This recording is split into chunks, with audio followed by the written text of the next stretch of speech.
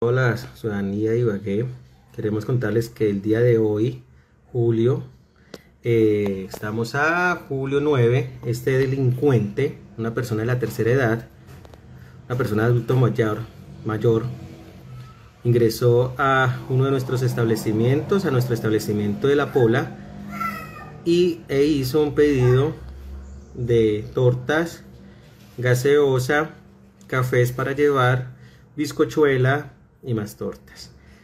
Pero este delincuente cometió una fechoría. Es una persona de la tercera edad, ladrón, que ronda por los alrededores del barrio La Pola, los cafés, restaurantes del barrio La Pola.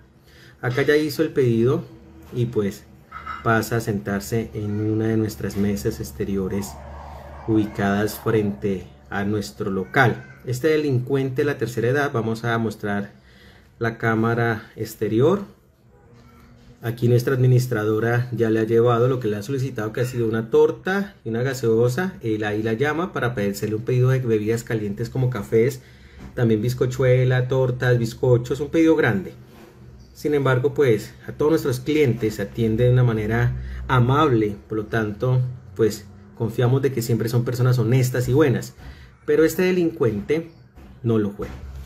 Aquí podemos ver desde la, nuestra cámara exterior cómo es el físico de este delincuente, de este anciano delincuente, persona de la tercera edad, que eh, desde probablemente toda su vida ha sido un ladrón, eh, pues se prepara para disfrutar del pedido.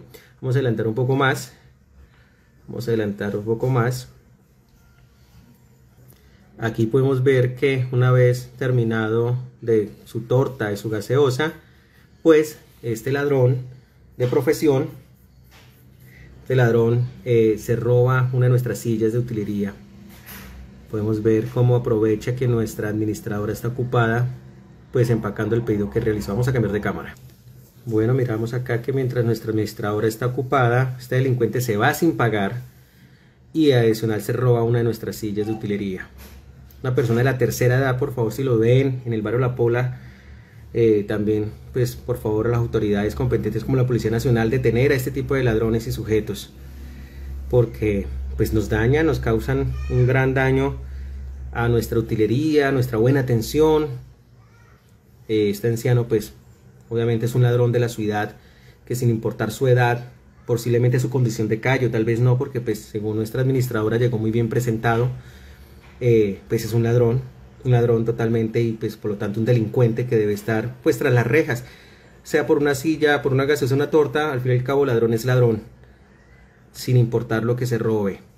Entonces, la denuncia ciudadana y pública por si lo llegan a ver.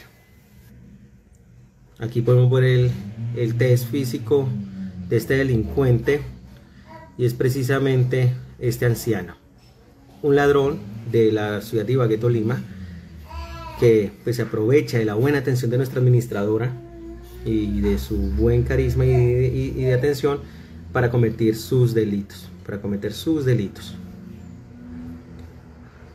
Ladrón en la ciudad de Ibagué, Tolima.